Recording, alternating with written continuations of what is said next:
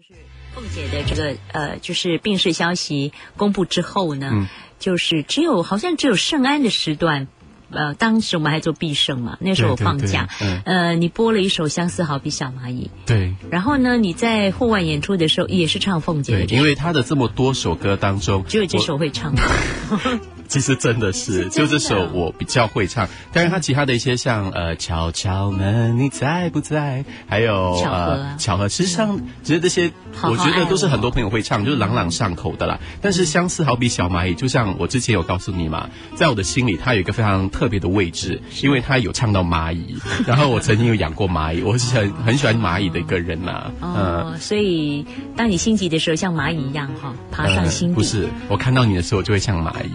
对啊，我这个蚂蚁好蛮大的，而且是红蚂蚁所以。等一下你要像蚂蚁这样钻进很多听众的耳里跟心里，这样啊，真的好痒哦。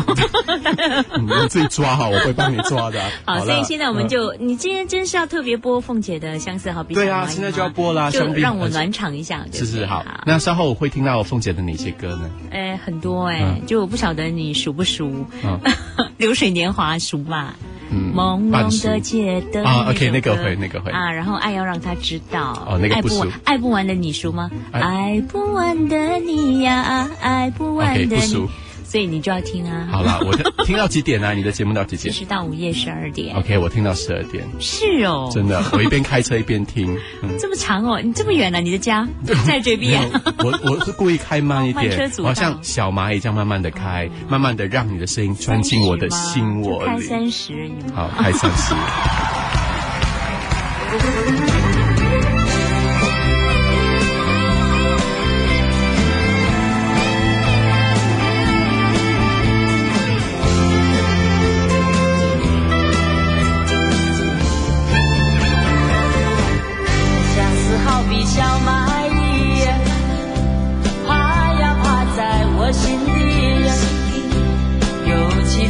静静的寂寞夜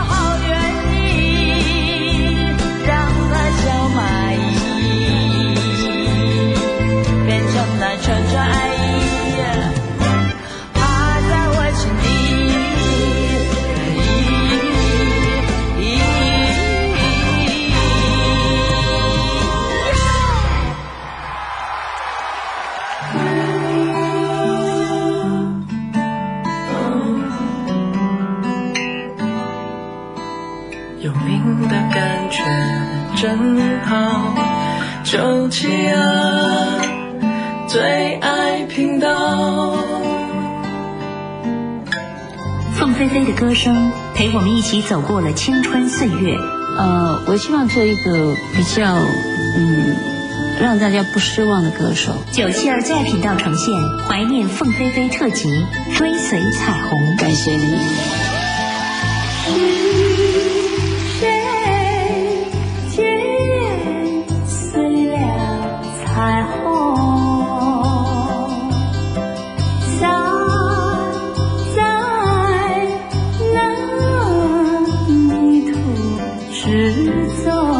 众朋友，晚上好，我是碧玉。今天是二零一三年一月三号，是许多凤梨们怀念凤飞飞的日子。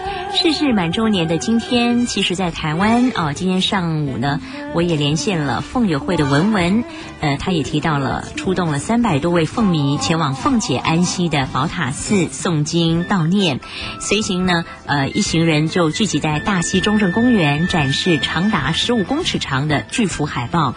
另外呢，走上街头发动联署，希望能够成立凤飞飞的纪念馆，为凤飞飞纪念馆请愿。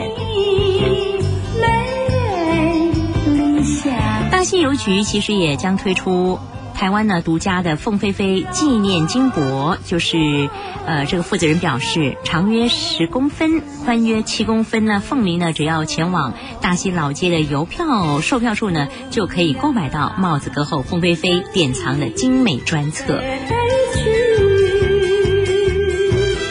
今天一月三号，还有明天一月四号晚间十一点钟，还有星期天晚上八点钟的《走过岁月歌》，我们也会为您播出凤飞飞特辑。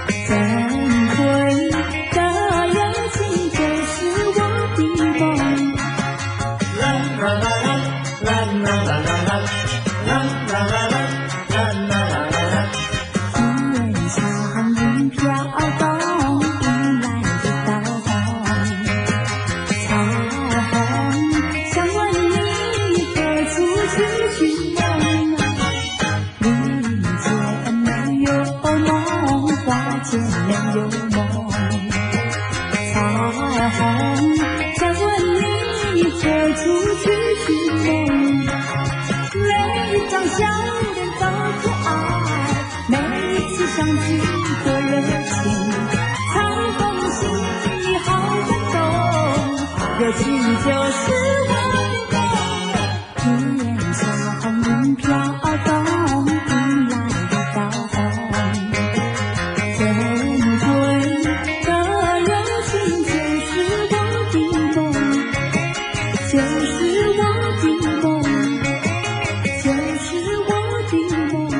歌后凤飞飞逝世满一周年。其实呢，今天在台湾呢，有百多位的凤迷呢，穿着凤友会的制服，他们非常忠实的歌迷，然后就跑到这个凤飞飞纪念记者会的现场，一起来追思偶像的身影还有歌声。那与凤飞飞长期合作的娱乐公司呢，在今天也现场宣布要帮凤姐报名今年台湾金曲奖特别贡献奖，并且呢，在三月底会主办纪念公益音乐会。而今天下午的这场纪念记者会的主持人就是黄子佼。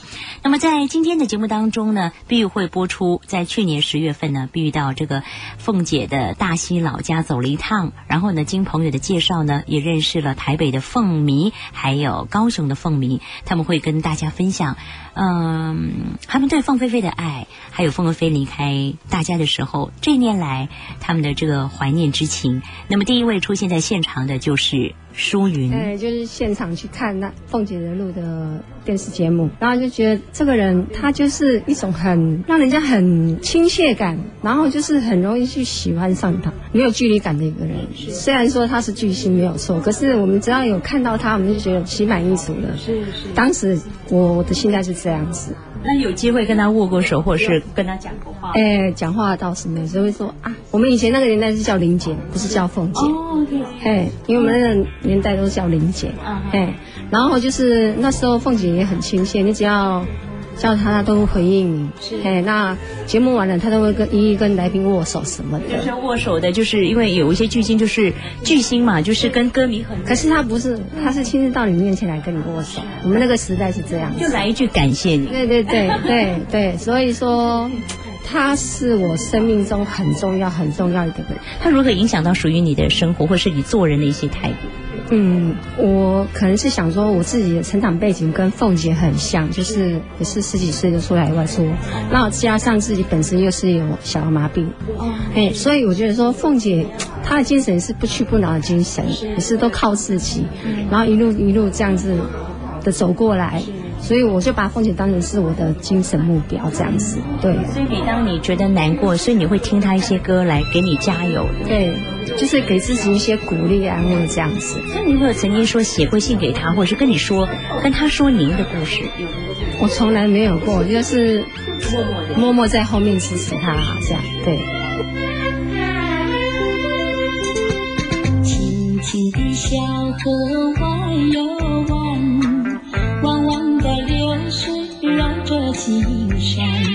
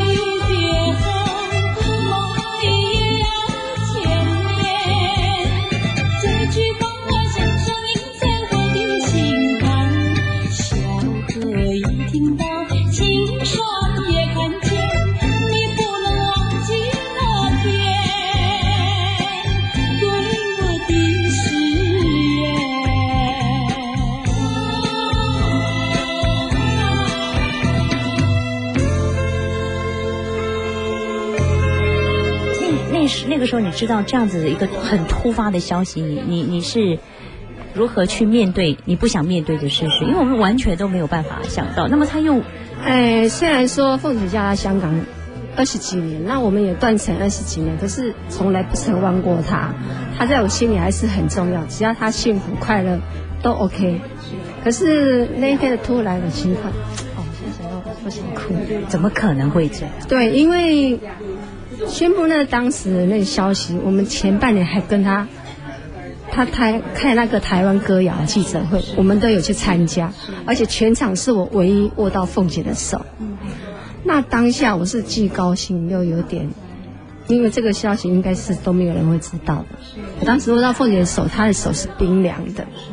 那我当时我心里就自己就觉得说，哎，怎么凤姐手是冰凉的？一个月之后，她就说，她就暂停，对，然后就开机子，就用声音，用录音录音的声音说他声带有问题。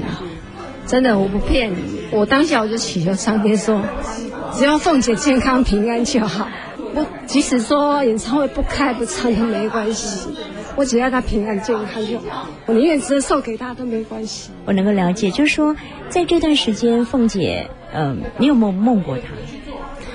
嗯，凤姐生前的时候，我常常梦到她。那我是就像我年轻的时候去看到凤姐，当天就看到她，当天我就梦到她，所以隔天我就满脑子都是凤姐的声音。就是从那时候就这样，我只要去看她录影什么，我回来就一定梦到她。然后就是凤姐往生了之后，我都没有梦到她。然后我就跟凤姐讲说：“凤姐，你为什么你在世的时候都常常到我梦里？那为什么你现在？”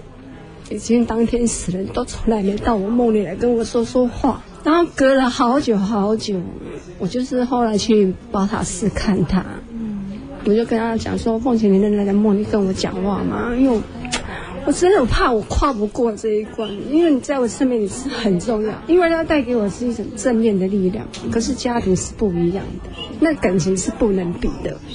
幸好是当下有这些凤迷们互相的鼓励，这个力量是很重要的。对，因为我是可以说年轻到这个时候，我都是自己独来独往，从不跟这些凤鸣有任何的什么什么。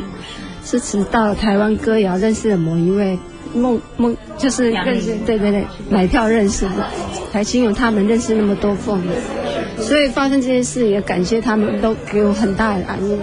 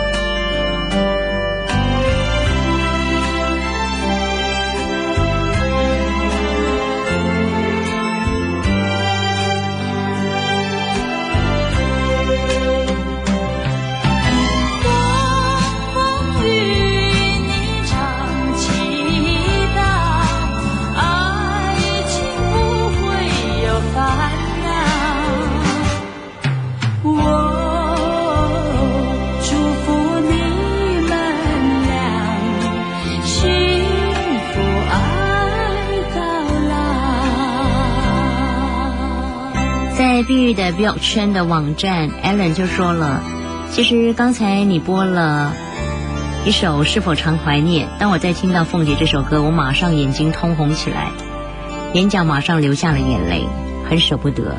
这是凤凤飞飞的歌迷在碧玉的表川的这个网站上留下他们对凤飞飞的思念。其实，在星期天八点钟我会开放热线，让大家呃点一首凤飞飞的歌，说说你们对他的思念。那今天我们播出的是呃台北的凤迷，因为在去年十月份呢，经新田的这个呃就是。间接的就是牵线，就认识了呃台北的凤友，还有高雄南部的呃这些很热心的台湾朋友。然后呢，我们我记得是在下着雨的时候，到瑞星，也就是歌林唱片公司，见到了这群这么可爱的朋友，他们也帮助了我很多。那我们也分享了呃对凤飞飞的思念。稍后要为你介绍一位超级的凤迷，因为每一首凤飞飞的歌都难不倒他。请你好好把握。凤飞飞的歌声陪我们一起走过了青春岁月。呃，我希望做一个比较嗯让大家不失望的歌手。永远怀念凤飞飞。感谢你。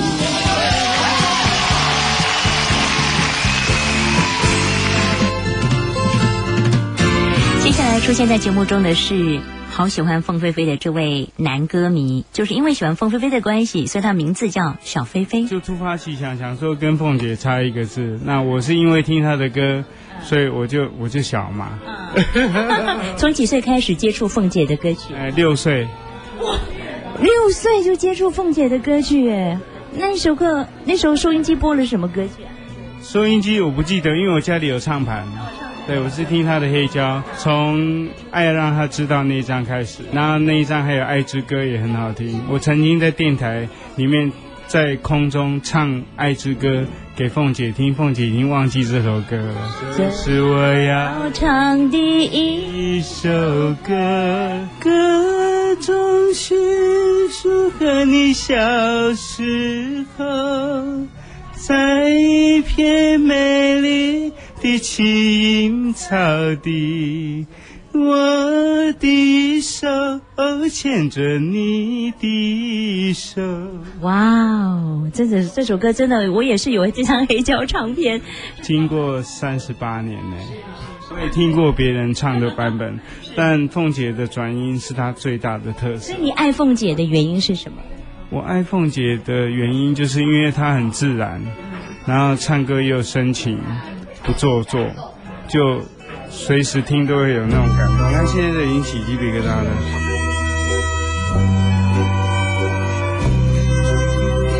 这是我要唱的一首，歌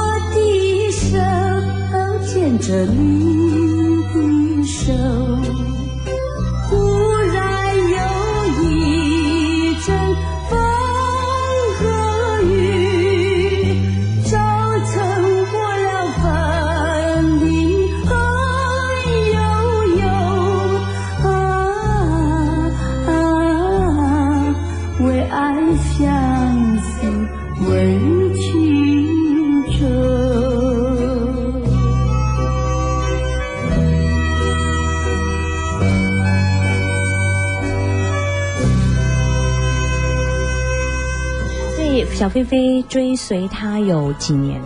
追随他不久，我从一九九一年哦，那真的不久。第一次看到凤姐之后，才开始迷她。国军文艺中心第一次参加她的庆生会，哦，那所以那一次看了之后，是不是没想到居然，我我我虽然远远的看到凤姐，哦，他巨星的风采已经把我迷住了。OK？你是爱他的自然，爱他的洒脱，爱他的歌曲，爱他的歌曲的处理部分。你说他的歌曲的最大特点是什么？像我觉得我太爱他唱转音转转音。是，尤其是因为福建歌，嗯那因为我我懂福建歌，那凤姐在福建歌方面，在台湾这一部分，目前应该在感情部分、转音部分，没有人能胜过她。那因为那个程程度上面是蛮难达到，不是超越，是蛮难达到的。所以你曾经为凤姐做过最疯狂的事情。嗯，喜欢听凤姐的歌变成习惯，参加比赛唱凤姐的歌应该也算。然后为了喜欢唱，拿凤姐的歌请专业的音乐老师，对，呃，拿凤姐的歌请专业的老师帮我编卡啦，自己花钱去做音乐来唱。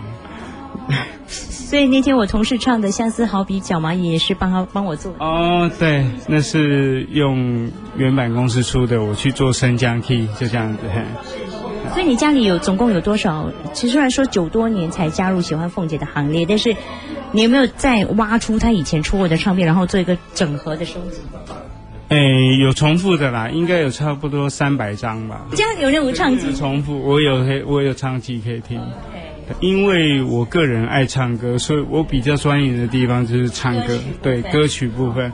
那因为对于凤姐，不管她后期或是前期的歌，那我是越听越少。那甚至因为有一段时间跟一个朋友，算是业余的去做电台节目，然后从凤姐的第一张专辑开始做功课。就从海山那个对，，第一张你怎么做功课？就每一张每一首歌都啊、对，就是从黑胶把它转成 CD。那音乐的部分是我负责，文字稿的部分是我另外一个朋友负责。所以如果说现在你是个 DJ，要你用一个很简短、铿锵有力的文字来形容这个艺人，你会怎么讲？你怎么怎么形容凤姐？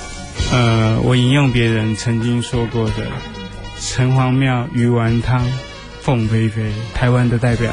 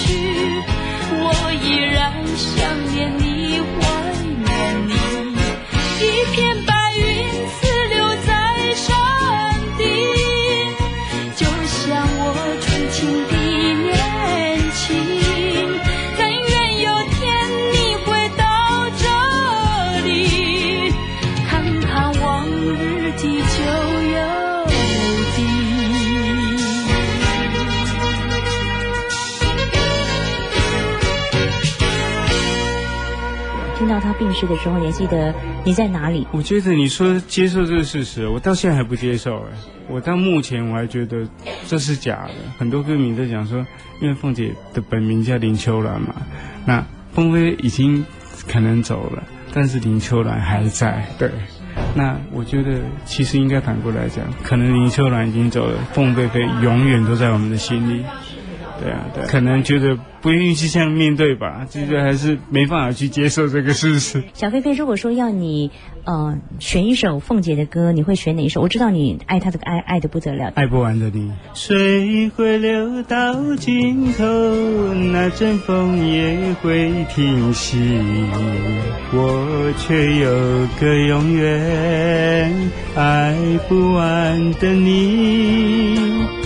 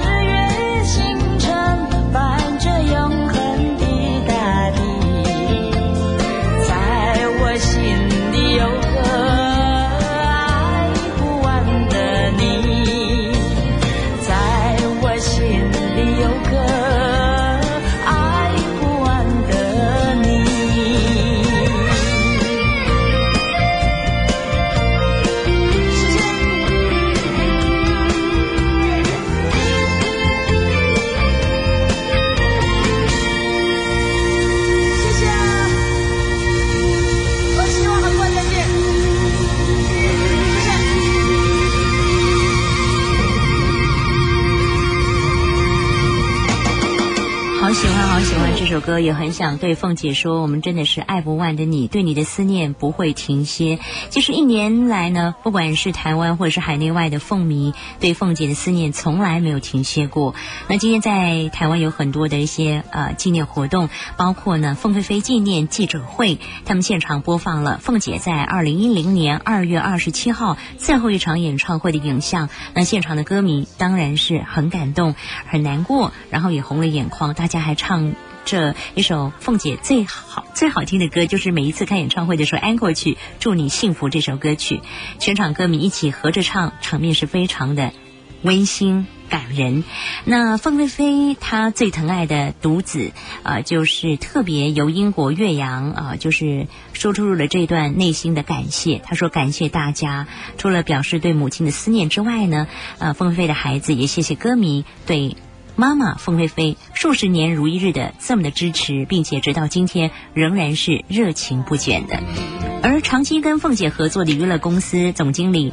他在今天也当场宣布，会尽力的帮凤姐报名今年第二十四届金曲奖的特别贡献奖，并且呢，将在取得凤飞飞的家属的授权之后，在今年的三月底会主办凤姐追思音乐会。那盈余呢，将会全数捐为凤飞飞生前最重视的儿童慈善公益基基金。那么，据说三月底的音乐会的嘉宾呢，其中哈林。呃，也参与演出，同时他们也会邀请费玉清、苏打绿的主唱清风等人也会出席在三月底的这场凤飞飞的音乐会。秋天叶会黄，冬天叶会落，任时光无情，相信在你我心中，凤飞飞三个字将永远鲜活在大家心里，直到永远。感谢你，永远怀念凤飞飞，追随彩虹。是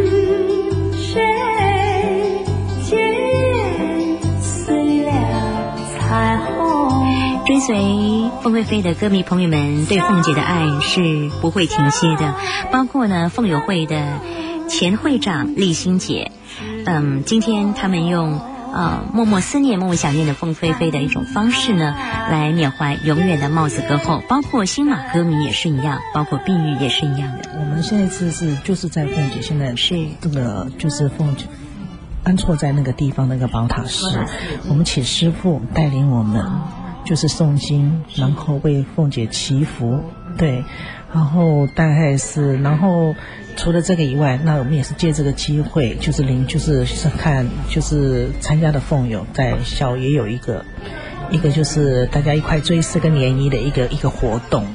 主要是为凤姐祈福了，对。所以呃，您担任这个会长多久？这个凤友会的成立是在呃二有二十多年，已经将近三十年了。将近三十年。对，那凤姐跟你们聚会的时间多吗？因为我知道她也很忙。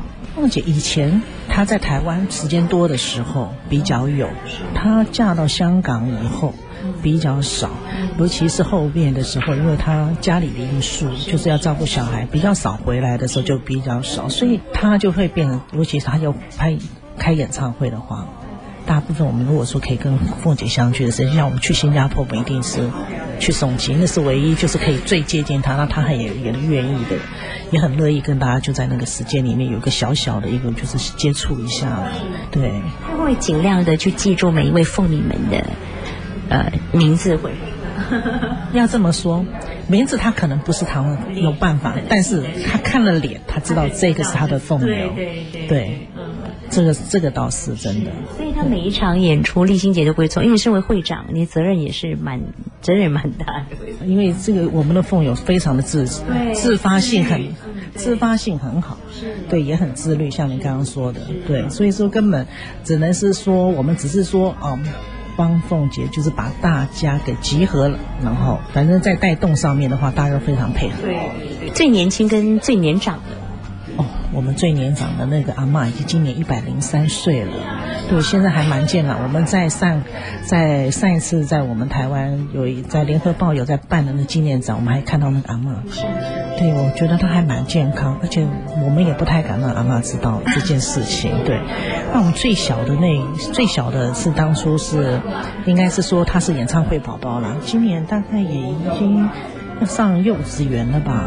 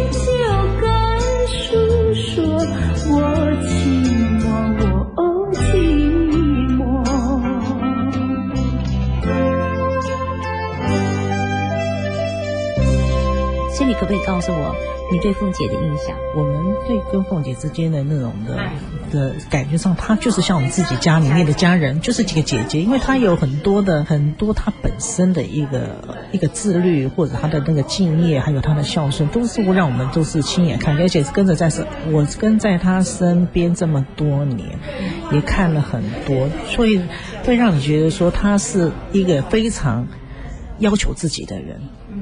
对，所以变成是说你在跟他共事的时候，同样的他也是，也是一样是也很很要求，很要求，对，他是非常，但他对歌友的话，他就是一直以来他就是一直都会把它放在心上，这是我让我觉得讲说会觉得说，今天你跟着这样子的，因为我们就说。就算他是一个 artist 的一个艺人来说的话，我觉得说他在他身上，我们也学到了一些他做人做事的方式。打个比方，比如说我们今天跟他一块共事，我如果说讲一句话讲的不得体，他会在旁边会提醒你，告诉你说这个话要这样子讲。对，那如果是做事的时候，对，就是做事，他真的是要求很严格，就是是个一丝不苟的人。是演唱会部分还是？不是，不是这。都各方面，他的工作上面，他对做节目也好，做唱片也好，演唱会更不用讲，他就是一丝不苟的一个人。对，他有发过脾气吗？发过。怎么办？凤姐发脾气。但是他发脾气的时候，大半就是生气，他就不讲话，就是会，他会觉得说，他会这样，呃，只是这样说，但是他不会说直接的这样骂你，他顶多就是说，啊，你看得出来他现在。心情不好，对，就是这个样子。但是过了以后就就还好，因为他他通常来讲，他平常在家的话，他是一个很安静的人，对，所以他向来在家里头的时候，他就是有时候就像他家里面认为是讲说，今天你都不知道说他到底一个人在房间里面在做什么事情，因为他就是自己做，他可能他看书。或者他缝制自己的衣服，因为他以前的有一些的东西，很多东西，他他他会在上面，对他会在上面。比如说，他觉得这边需要添加什么，他可能自己有办法就自己去去去弄啊，什么之类的，或者收拾东西。他虽然他啦，可能在烧菜上面不行，可是他打理家务非常能干。你有吃过他自己烧的菜啊？没有，但 是他他真的是一个很会整理家务的一个，对对，而且他是就算是家里面他请了佣人，他还是还是亲力亲为。所以在我们最感最觉得钦佩他的，就是说他不会忘记他曾经受的受过的这些苦，对。然后他在他事实上他已经得到他。得到了，得到以后，他也不会说，因为今天我已经走到这个地步了，我会，我好像会就感觉上我更加不一样。月朦胧，鸟朦胧，萤火照夜空。山朦胧，树朦胧，秋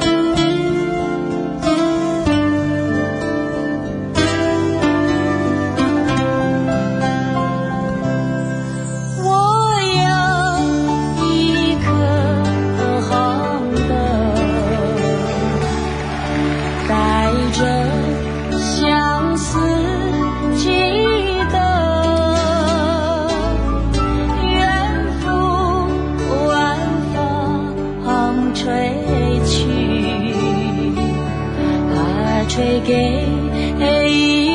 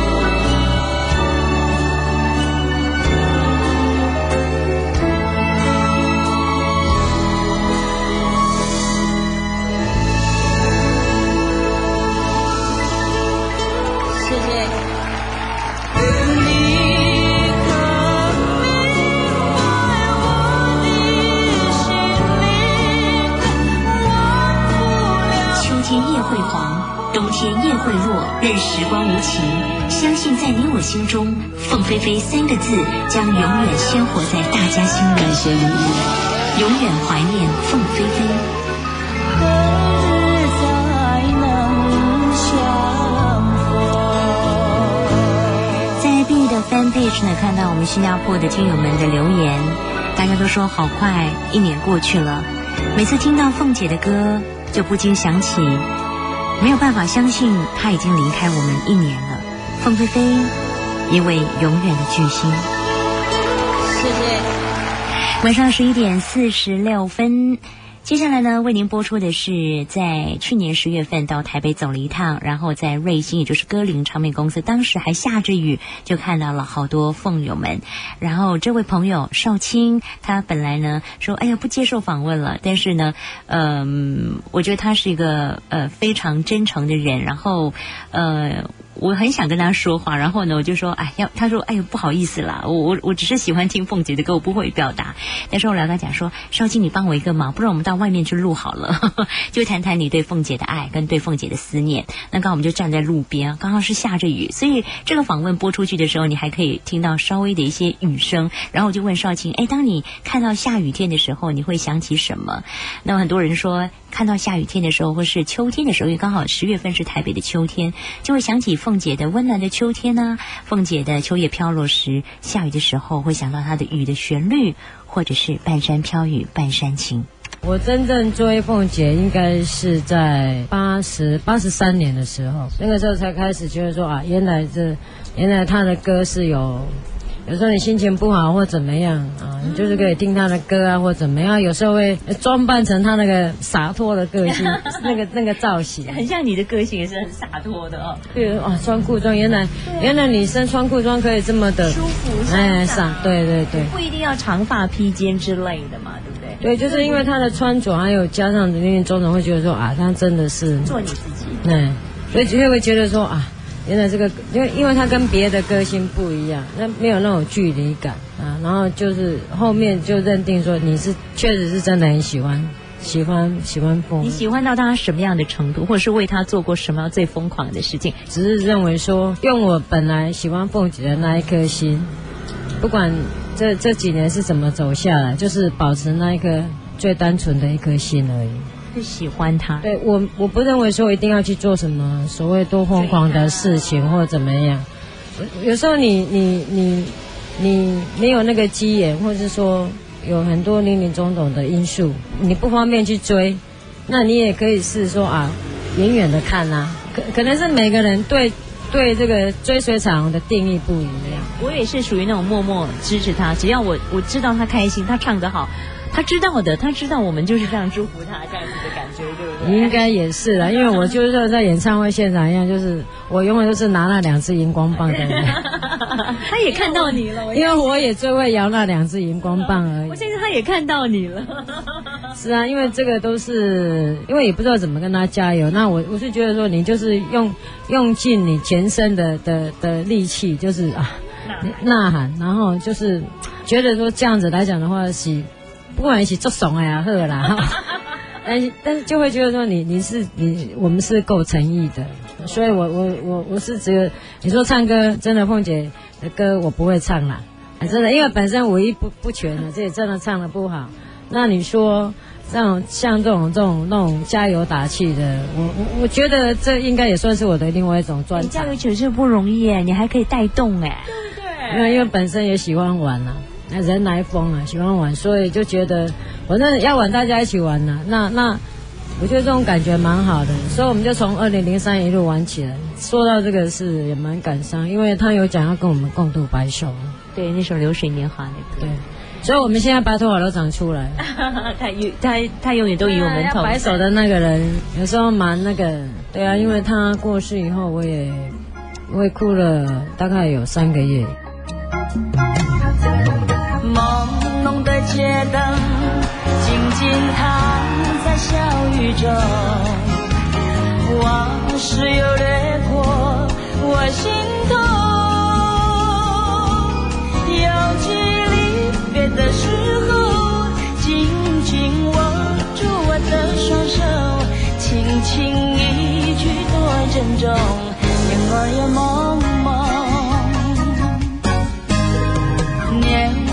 水流，转眼又是春风柔。层层的相思也悠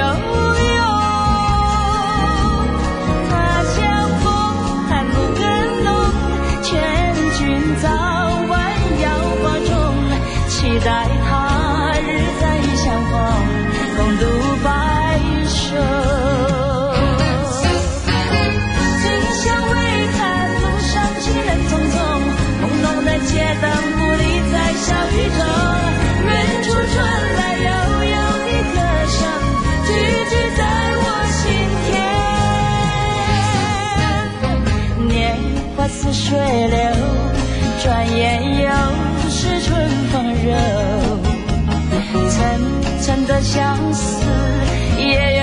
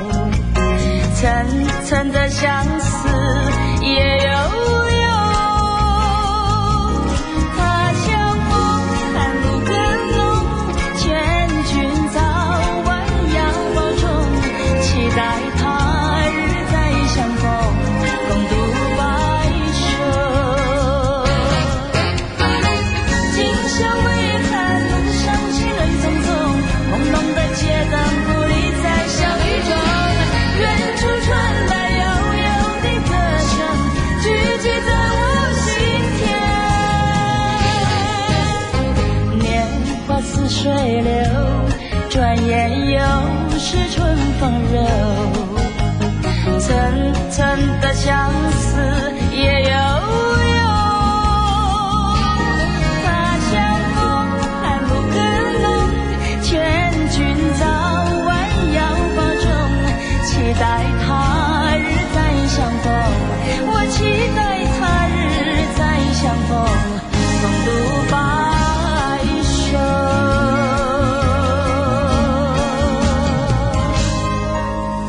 有跟他讲过话，因为我是他的干部之一，我是我是这对凤鸣会的那个总管之一啊。你说讲话是有，握手倒还好啦。我跟讲的都是讲话都是大部分是公事啦，私事比较比较少啊。对他是一个很要求的人，对，而且他走路很快，你追不上。吃饭也很快。嗯，我没办法把一直都喜欢你或者爱你，这一直都是挂在嘴上的。但是从行动上来看，他应该知道了。但因为他应该是知道的，因为我我我有那种敬偶像情怯的那种。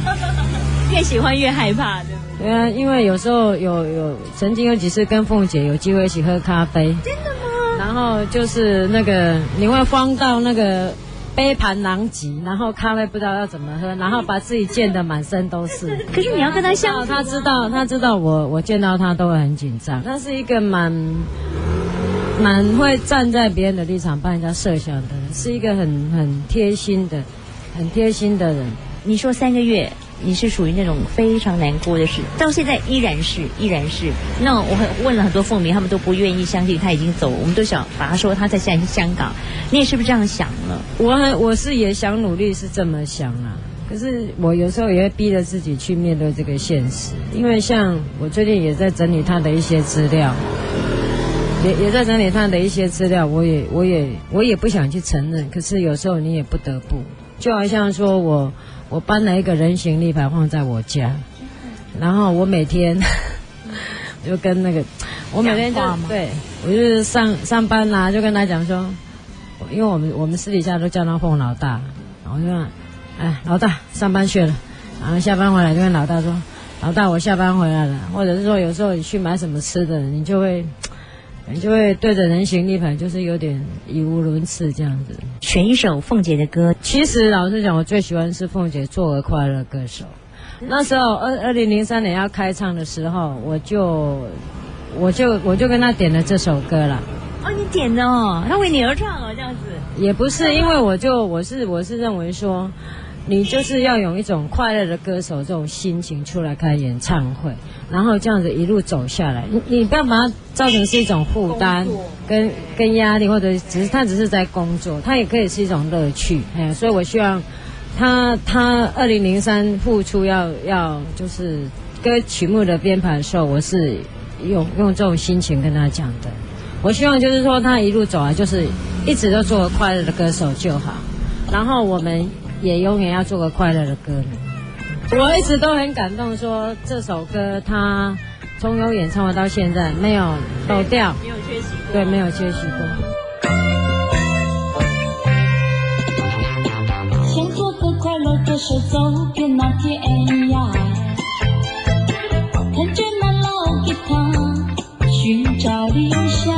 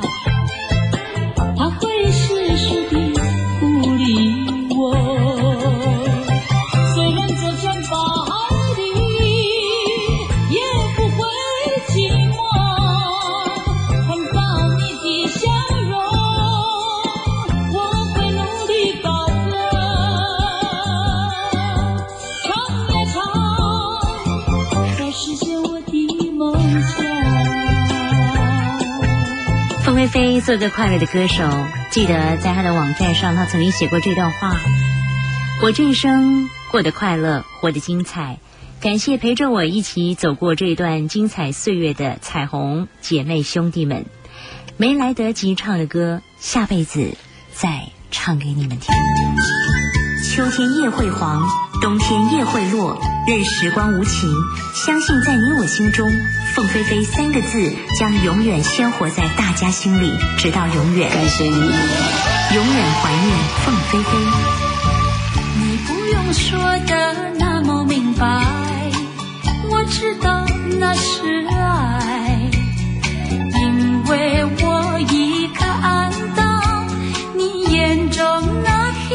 亲爱的朋友，谢谢您收听今天晚间十一点到午夜十二点一个小时的纪念凤飞飞的特辑。明天晚上十一点钟还会安排南部听众、台湾南部听众对凤飞飞的思念，同时也会安排多首凤飞飞的经典好歌。祝各位听众朋友晚安，明天晚上十一点钟我们再会了。